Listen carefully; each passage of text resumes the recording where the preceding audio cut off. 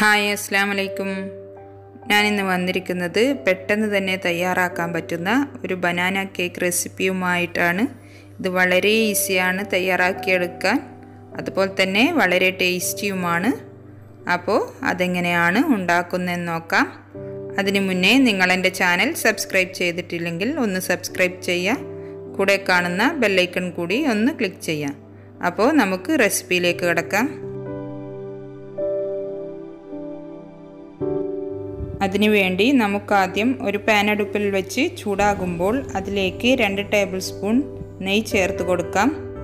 അതിലേക്ക് രണ്ട് നീന്ത്രപ്പഴം ചെറുതായി കട്ട് ചെയ്തത് ഇട്ട് കൊടുക്കാം.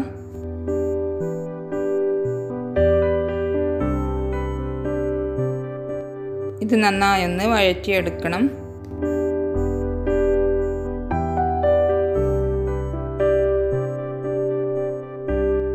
പഴം ഒന്ന് ഫ്രൈ ആയി വരുന്ന സമയത്ത് ഇതിലേക്ക് രണ്ട് മൂന്ന് ടേബിൾ സ്പൂൺ പഞ്ചസാരയും കൂടി ചേർത്ത് കൊടുത്ത് ഇത് നമുക്കൊന്ന് നന്നായി വഴറ്റിയെടുക്കാം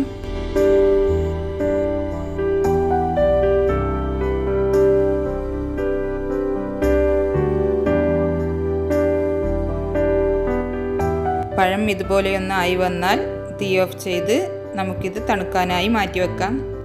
ഒരു മിക്സിയുടെ ജാറിലേക്ക് ഞാൻ അഞ്ച് മുട്ട പൊട്ടിച്ചൊഴിച്ചിട്ടുണ്ട്. അതിലേക്ക് രണ്ട് മൂന്ന് ടേബിൾ സ്പൂൺ പാൽപ്പൊടിയും മധുരത്തിന് ആവശ്യമായ ഒരു മൂന്നോ നാലോ ടേബിൾ സ്പൂൺ പഞ്ചസാരയും കൂടി ചേർത്ത് കൊടുക്കാം.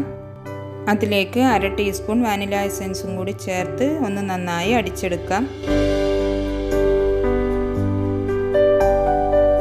ഒരു പാൻ അടുപ്പിൽ വെച്ച് ചൂടാകുമ്പോൾ അതിലേക്ക് ഒരു ടേബിൾ സ്പൂൺ നെയ്യ് ഒഴിച്ചു കൊടുത്ത് അതിലേക്ക് അടിച്ചു വെച്ച മുട്ടയുടെ പകുതി ഒഴിച്ചു കൊടുക്കാം. അതിന് മുകളിൽ ബ്രെഡ് വെച്ച് നിരത്തി കൊടുക്കാം. ബ്രെഡിന്റെ സൈഡെല്ലാം കട്ട് ചെയ്ത് മാറ്റണം.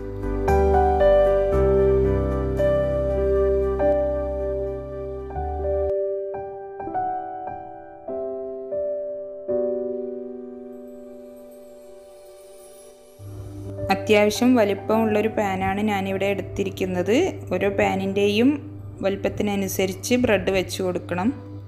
ഇതൊന്ന് വെന്ത് വന്നാൽ നമുക്കൊരു പ്ലേറ്റിലേക്ക് മാറ്റി കൊടുക്കാം.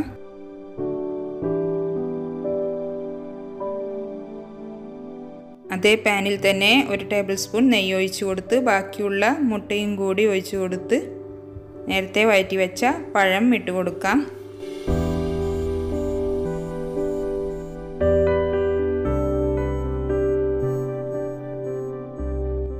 ഇത് വേവുന്നതിന് മുന്നേ തന്നെ നേരത്തെ മാറ്റിവെച്ച ബ്രെഡ് ഇതിന്റെ മുകളിൽ വെച്ച് കൊടുക്കണം. രണ്ടും തമ്മിൽ ഒട്ടിപ്പിടിക്കാൻ വേണ്ടിയാണ് വേവുന്നതിന് മുന്നേ വെക്കുന്നത്. വെന്ത് കഴിഞ്ഞാൽ ഇത് ഒട്ടിപ്പിടിക്കാതെ സെപ്പറേറ്റായി തന്നെ നിൽക്കും.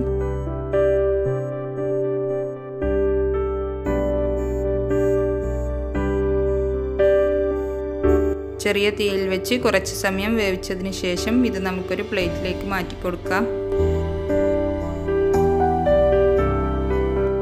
നല്ല ടേസ്റ്റിയും ഈസിയുമായിട്ടുള്ള ബനാന കേക്ക് ഇവിടെ റെഡി ആയിട്ടുണ്ട്. ചായയുടെ കൂടെ കഴിക്കാൻ ഇത് നല്ല ടേസ്റ്റാണ്. നിങ്ങളെല്ലാവരും ട്രൈ ചെയ്ത് നോക്കണം. എന്റെ ചാനൽ ഇഷ്ടപ്പെട്ടാൽ സബ്സ്ക്രൈബ് ചെയ്യണം. Okay thank